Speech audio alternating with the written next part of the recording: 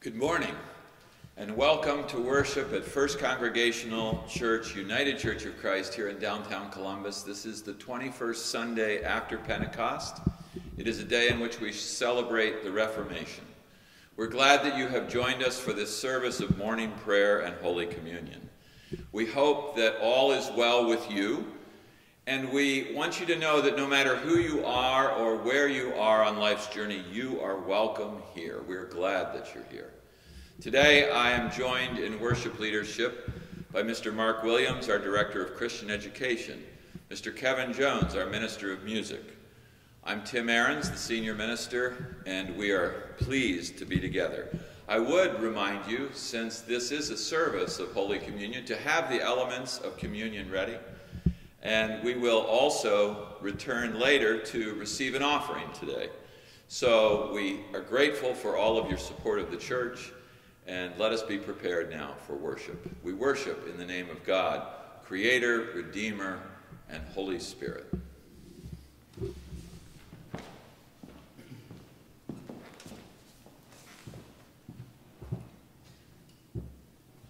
Send out your light and your truth, that they may lead me. And bring me to your holy hill and to your dwelling. O, o God, open our lips. And our mouth shall proclaim your praise. Praise to the holy and undivided Trinity, one God. As it was in the beginning, is now, and will be forever. Amen.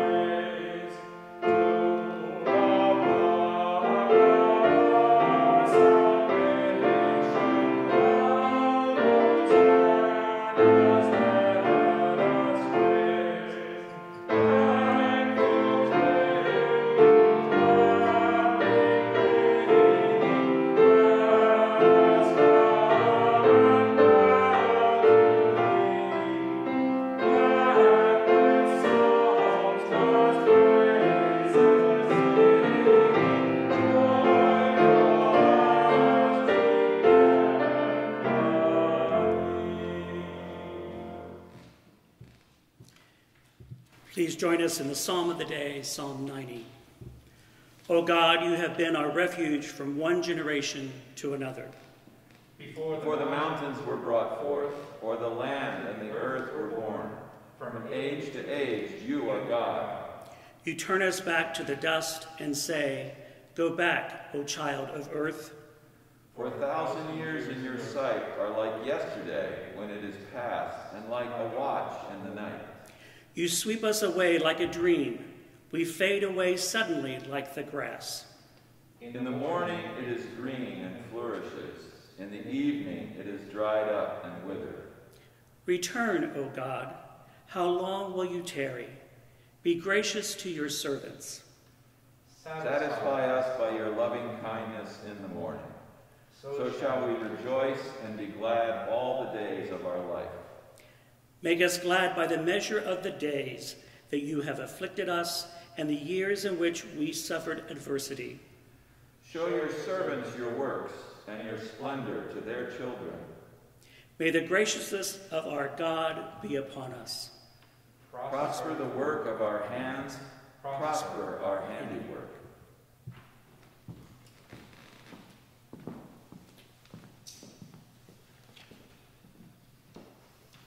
In my welcome, I forgot to invite you to look at the service and follow along with us, found at the website of the church, www.first-church.org. As well, you can find it in the links that we have sent out to members. Now, since you're with us, may the peace of our Lord be always with you. and also with you. Peace be with you.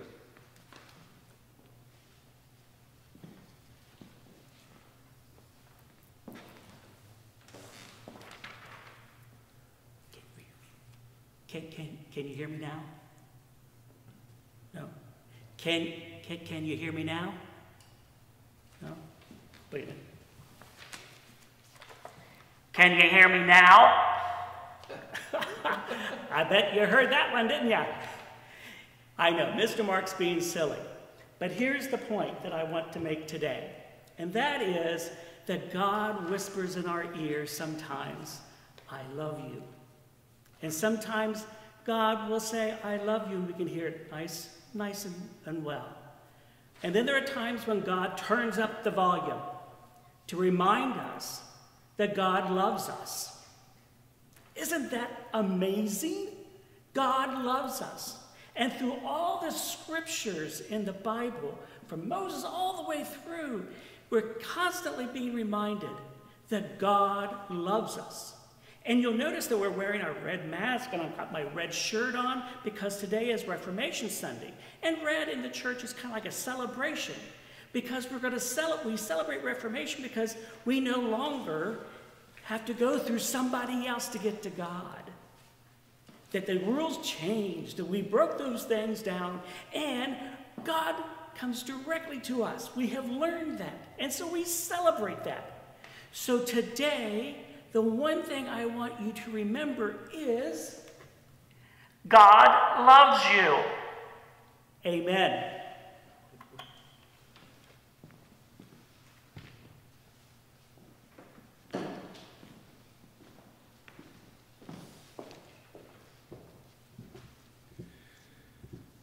A reading from the book of Deuteronomy, chapter 34. Then Moses went up from the plains of Moab to Mount Nebo, to the top of Pisgah, which is opposite Jericho. And the Lord showed him the whole land, Gilead as far as Dan, all Naphtali, the land of Ephraim and Manasseh, all the land of Judah as far as the western sea, the Negeb, and the plain. That is the valley of Jericho, the city of palm trees as far as Zoar.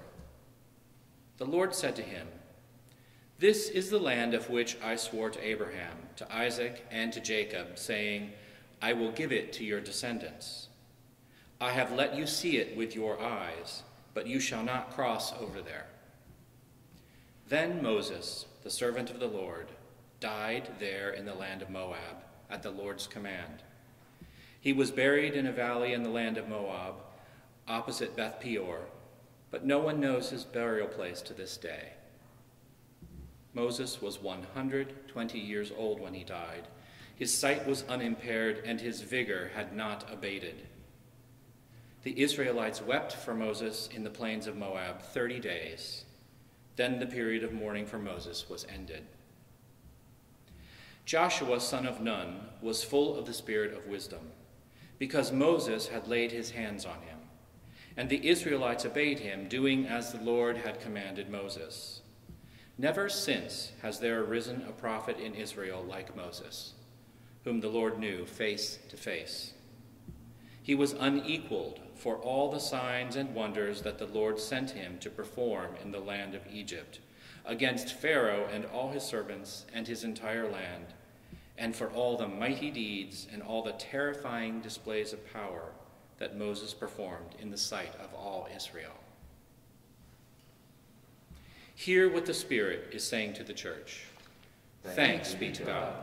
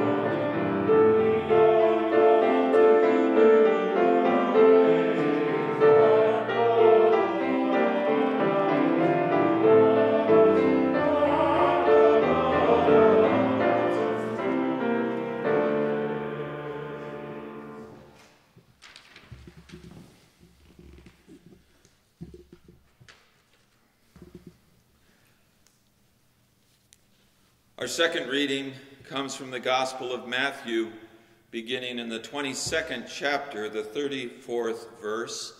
Listen for the word of God. When the Pharisees heard that he had silenced the Sadducees, they gathered together, and one of them, a lawyer, asked him a question to test him Teacher, which commandment in the law is the greatest? He said to him, You shall love the Lord your God with all your heart, and with all your soul, and with all your mind. This is the greatest and first commandment. And the second is like it you shall love your neighbor as yourself. On these two commandments hang all the law and the prophets. Now, when the Pharisees were gathered together, Jesus asked them this question What do you think of the Messiah? Whose son is he? They said to him, The son of David. He said to them, how is it then that David, by the Spirit, calls him Lord, saying, The Lord said to my Lord, Sit at my right hand until I put your enemies under my feet? If David thus calls him Lord, how can he be his son? No one was able to give him an answer. Not from that day did anyone dare to ask him any more questions. Hear what the Spirit is saying to the church. Thanks be to God.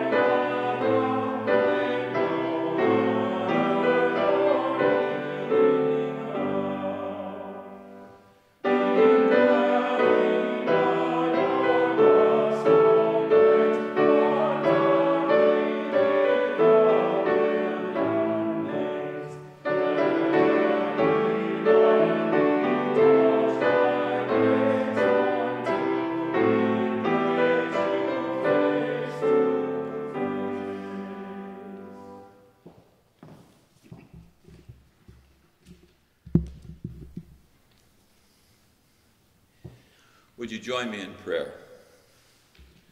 May the words of my mouth and the meditations of each one of our hearts be acceptable in your sight, O Lord, our rock and our salvation.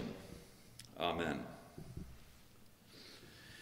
We have two amazing passages of Scripture today. First, in Deuteronomy, we hear about the final moments of Moses' life uh, a life that has been uh, long lived at 120 years, uh, a life that has been marked by tremendous leadership.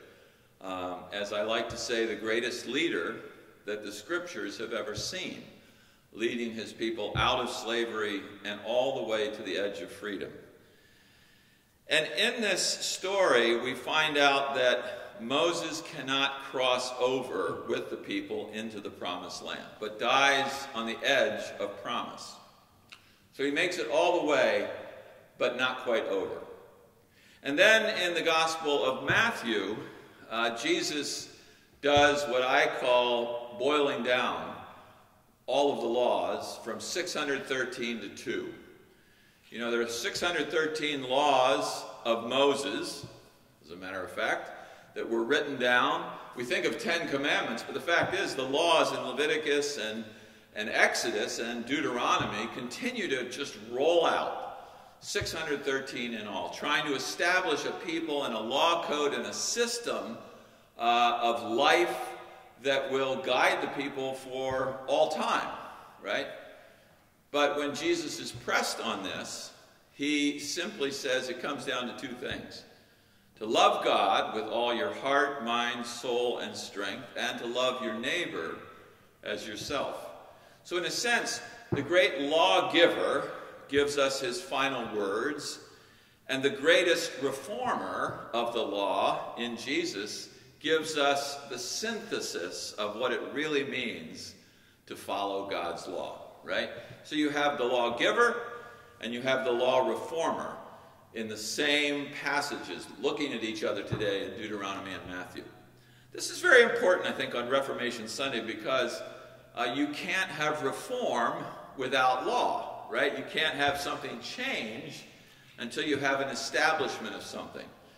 And uh, we believe in our tradition that we are what we call reformed, and that's the Protestant definition of who we are in our tradition, and reforming. So we're constantly reforming what we see. We're constantly trying to understand something with new eyes, with a new lens, and, uh, and to make it real and uh, to make it graspable, to make it um, uh, present for people in the day in which we're living.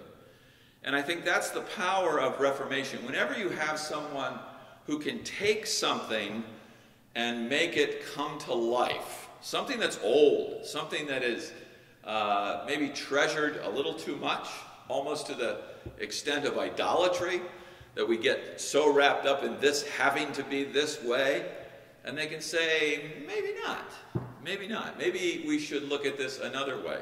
One of the things that's been happening, if you haven't been paying attention all summer long, in the gospel and now into the fall, Jesus is having all of these conversations, this back and forth with the Pharisees. He's telling parables. And when he comes to this one, he's once again put on the spot. They're trying to nail him. They're trying to say, You think you're so smart. Well, we're going to catch you, we're going to trip you up. Uh, and the fact of the matter is, he nails his first answer. He gets a 10. If this was the Olympics, he'd get a 10. He nails it. Love the Lord your God with all your heart, mind, and soul. No questions about that. But he comes up with this second um, law that is like unto it.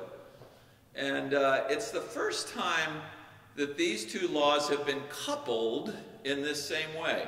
That it's not only about loving God loving the God within, loving the God outside of ourselves, but it's about loving your neighbor and loving yourself. I mean, that sort of gets lost in this. Um, the old story of, you know, if, you, if you're on an airplane, you put the oxygen mask on yourself in, in a crisis, and then on your children, and then on the people next to you, right?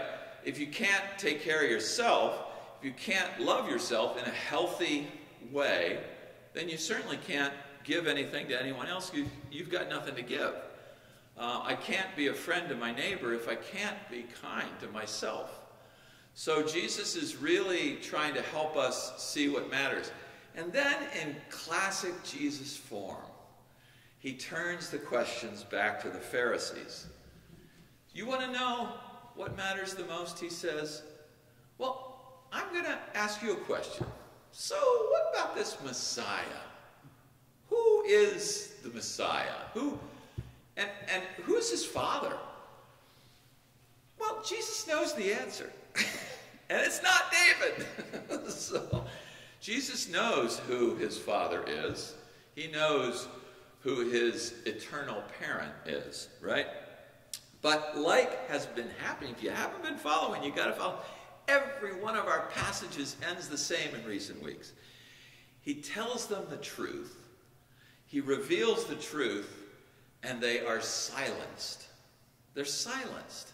There's something about the truth when we hear it, when we feel it, when we know it, that quiets us, that shuts us down.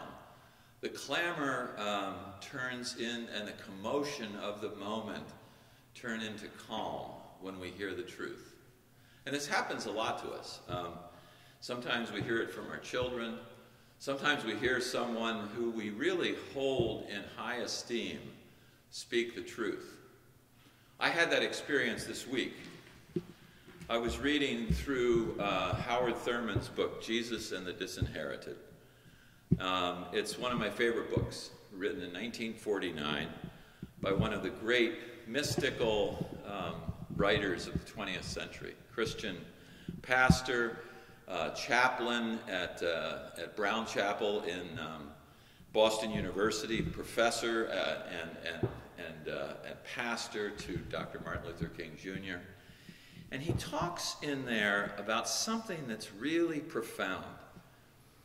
He says that when you hate, we're talking about the love of God and love of neighbor.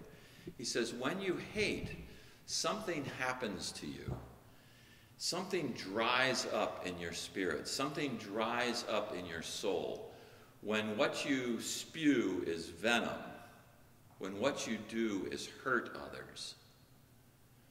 The creative spark the genius that God has placed in each of us dries up, it disappears. And we have no reservoir of goodness and creativity and brilliance to draw on. It's a very interesting, interesting thought. And on this Reformation Sunday, I just want us to hold to that thought. When we carry anger, when we carry hatred, um, something is really destroyed in us when we carry um, something against our brother or our sister, our neighbor. Something happens to us. We lose our ability to be creative. We lose our ability to see possibilities. And I think on this Reformation Sunday, maybe the greatest reform that we can experience today is to reform our own spirits, um, to allow the creative spark, the genius, the goodness of God to come to life in us in a new way. And to, um, to lift up those who have guided us in these times and through the centuries, to find what is good, what is possible, what is um, what is genius, if you will? What, is, what, is, what will change things because we've opened ourselves up to the goodness of another and the goodness of God? My thoughts for Reformation Sunday. And again, we celebrate these two amazing gifts to us. Um, my sermon title talks about um, the Pope because he has set forth a beautiful new vision uh, for a post COVID 19 world. And you're going to be really happy with what I do next, both my colleagues and all of you watching. I'm not going to tell you what he says. I'm going to tell you to go look at what he says and read what he says because we have a new reformer in our midst, my friends. Somebody who hasn't given in to hate, he hasn't given in to hopelessness, he hasn't given in to disdain for any human being. And as a result, he is opening the doors of creativity and goodness, the doors to God.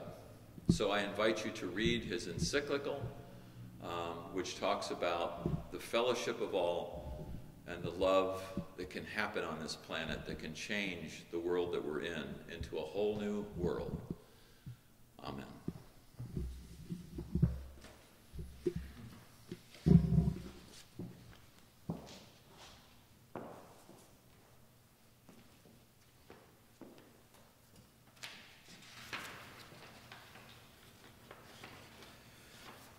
Would you join me in prayer? God be with you. And also with you. That there may be purpose and fulfillment, O God, in all that we do. Christ have mercy. That we may show others this day the love that you have taught us. Christ have mercy. That the church throughout the world may respond to your call for peace and justice.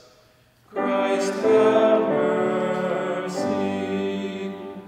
That those who are in need be helped and comforted. Christ have mercy. I would like to pause this day to lift up in silence um, the special needs and concerns of each of your hearts in each of your homes and for this congregation, the members, the family, the friends who are today listed in Depart to Serve and whom we hold in our hearts in prayer. And again, I invite you to pray silently or to lift those names where you are.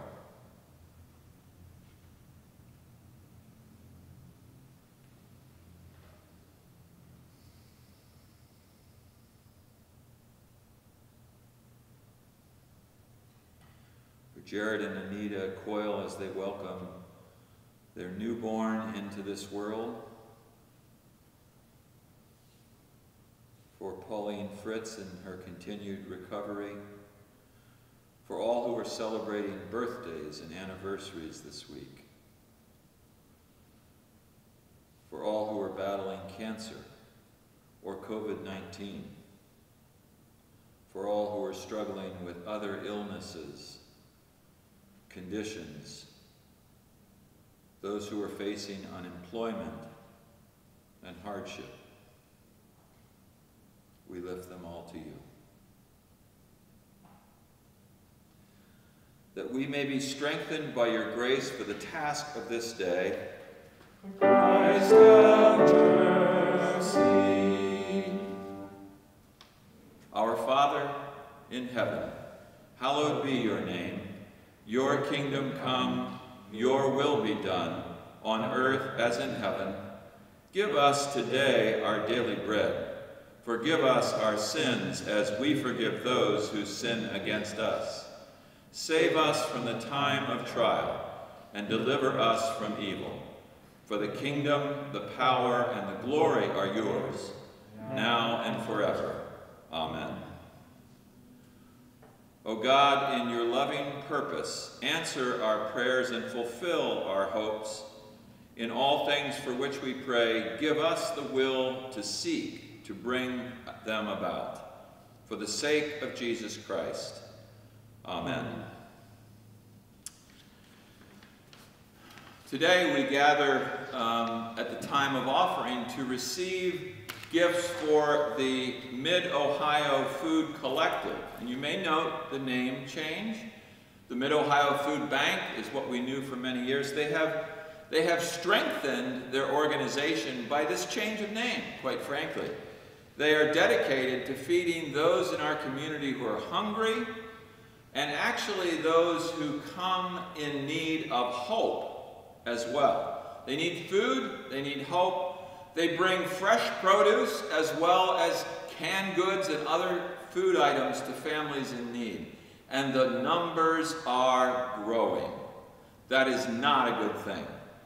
We have a growing number of those who have desperate need for food and food security in their lives and for their families today. So we have been partners with the Mid-Ohio Food Collective for generations. I invite you today to be generous as we step into these days of winter and the late fall to remember our sisters and brothers, the children in our community who are hungry today. Let's be generous and give to the Ohio, the Mid-Ohio Food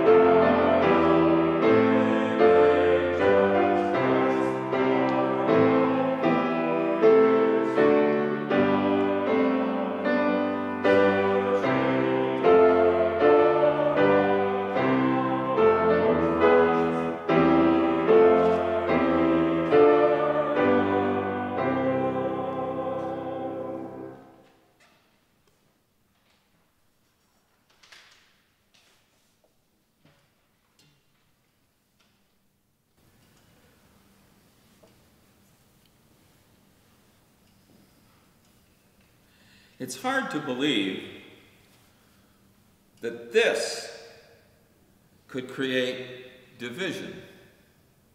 It, just take a look.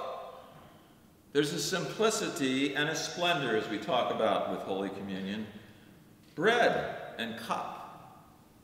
Division? How could the body of Christ be divided over this? That's a really good question. There was a meeting by two of the great early reformers, Martin Luther and Ulrich Zwingli, German and Swiss. They met in a castle named Marburg.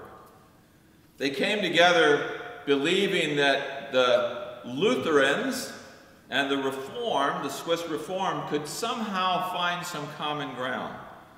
They came with 33 principles they held about the Reformation in the early days of the Reformation.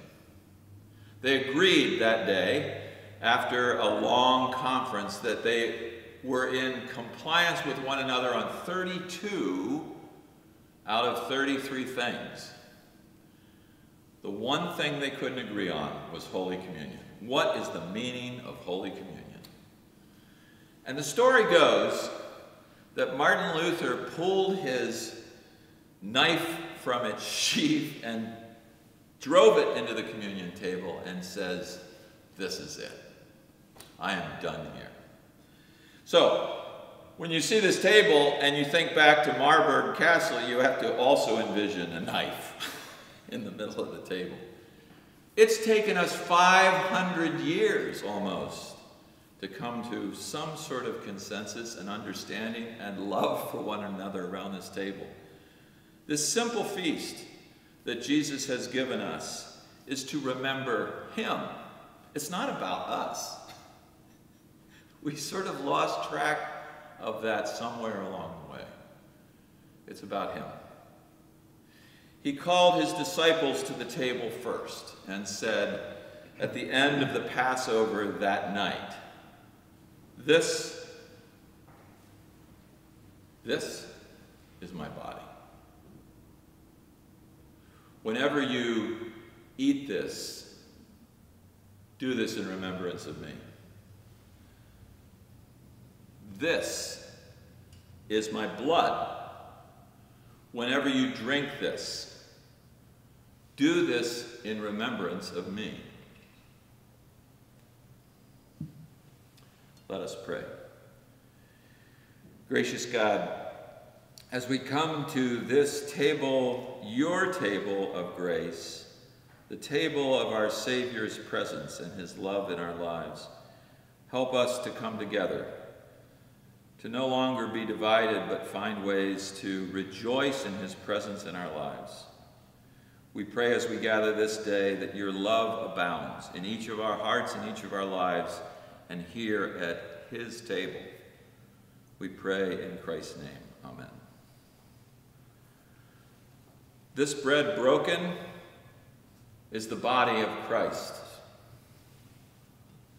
This cup of blessing is the blood of Christ. May the Spirit of God be upon these gifts and on all of us as we come to his table of grace. Take and eat. Take and drink.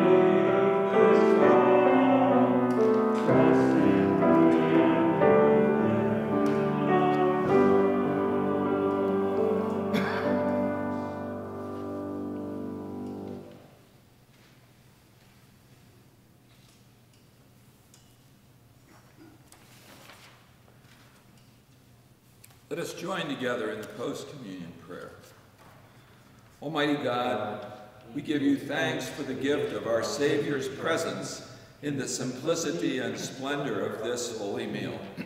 Unite us with all who are fed by Christ's body and blood, that we may faithfully proclaim the good news of your love, and that your universal church may be a rainbow of hope in an uncertain world. Through Jesus Christ, our Redeemer. Amen.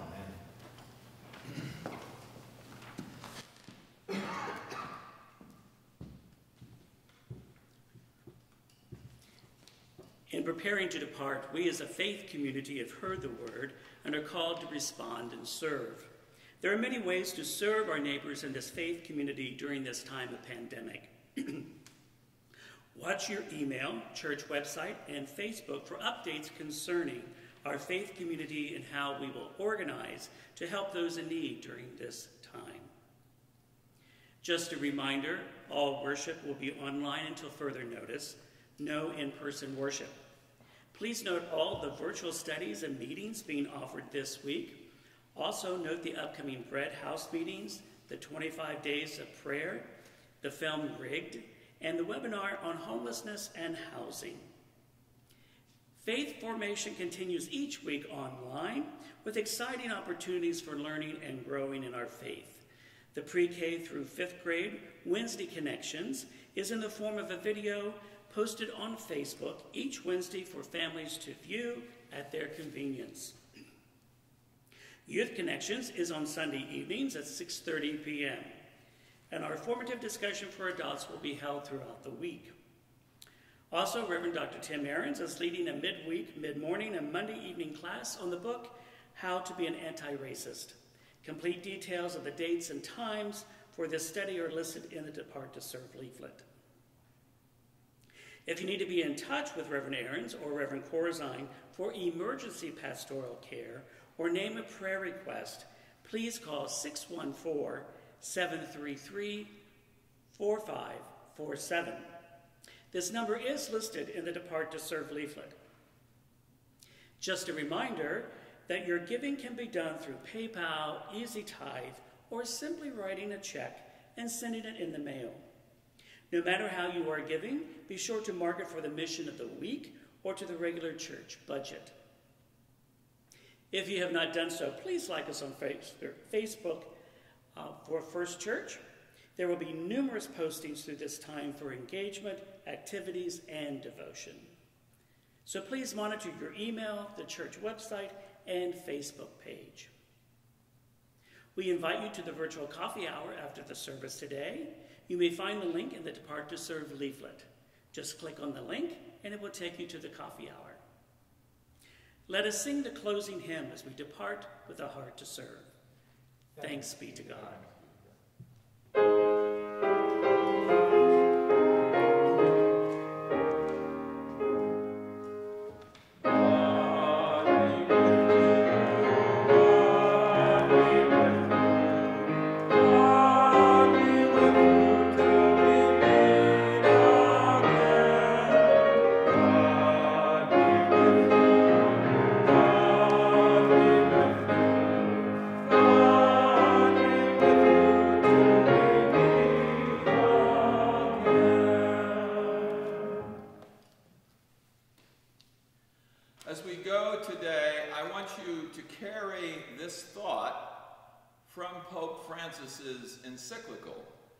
He says these words from South African Bantu language. He says, A person is a person through other persons. This is translated one way, or I am because we are. I am because we are. All of us need each other. We need each other to live, to thrive, and to enter this week with hopeful hearts. So this week, know that I am and you are because we are. Go and love, go and serve God, and thanks be to God.